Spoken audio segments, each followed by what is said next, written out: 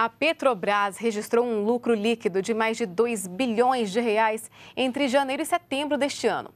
Segundo o balanço da empresa, divulgado nesta quinta-feira, o lucro operacional foi 149% maior que os nove primeiros meses de 2014.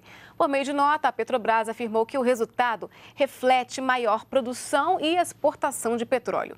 A empresa também destacou que os campos de pré-sal tiveram no período uma produção média diária de 9 919 mil barris de petróleo e gás e já respondem por 24% do total produzido pela Petrobras.